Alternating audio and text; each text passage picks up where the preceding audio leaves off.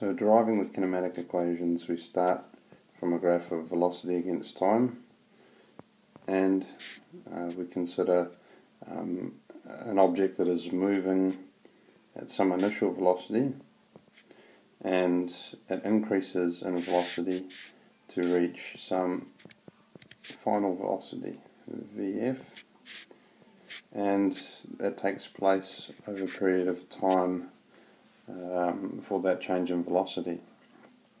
Now, uh, two of these equations that we're trying to derive from this graph of velocity against time are distance or displacement. Um, we've got this one and we've got this one.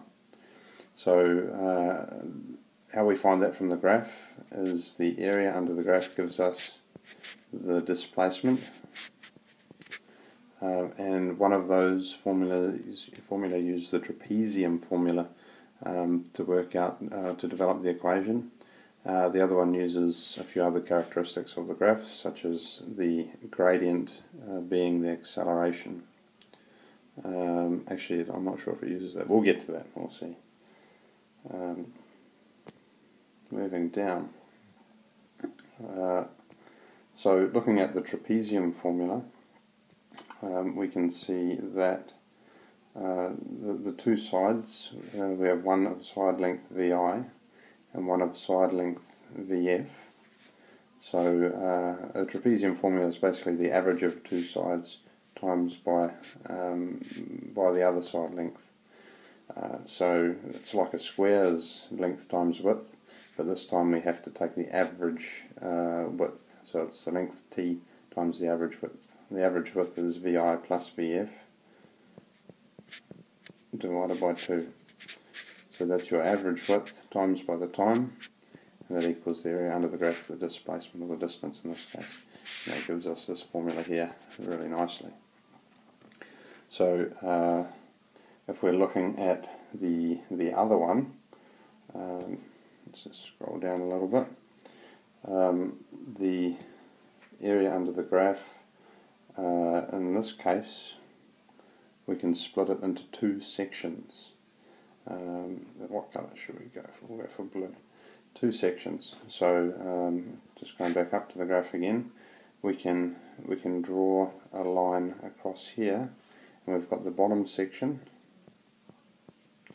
which is a, a rectangle of side length VI and T. So VIT gives us one section and then we've got uh, an, an, area of a triangle for this top section.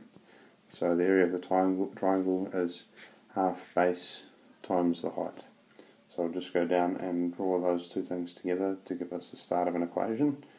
We've got uh, the area of the square. So let's write this out. The distance is the area of the square, VI times T, plus the area of that triangle bit. Let's just go have a close look at the triangle bit. Um, area of the triangle is half the base times the height. So um, half of the base is half of time. Write that in there. Half of. Okay, we might have lost a little bit there because uh, we had a little glitch. But uh, just in case we missed it, the first section here is um, the uh, the square or rectangular bit at the bottom of this graph. And then we're adding to that the triangular part.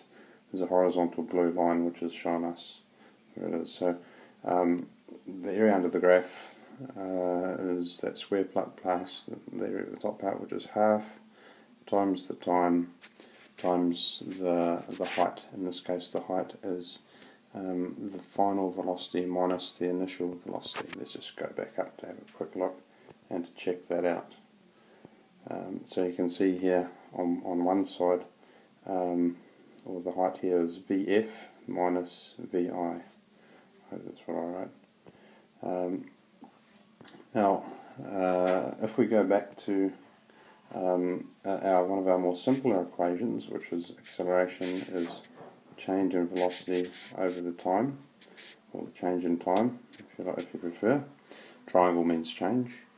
Um, another way to write that is the change in velocity is the final minus the initial, divided by the time, change in time. and uh, we've got a section in there uh, let's yeah we'll rearrange it in this way um, moving across just a little bit um, we can take this uh, VF and VI section and compare it to here. But to, to make this equation fit in a way that we can substitute it in we're going to have to go A times the time times the change in time um, equals our change in velocity. And remember the change in velocity is that VF uh, VF minus VI okay so this is where we can take that AT part and put it in there instead and we end up with uh, the distance equals VIT plus half T times AT you can see where this is going.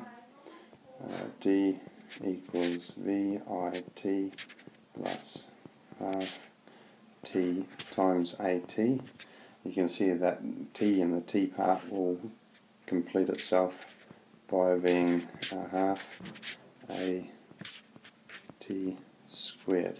And that's where we get the second equation from.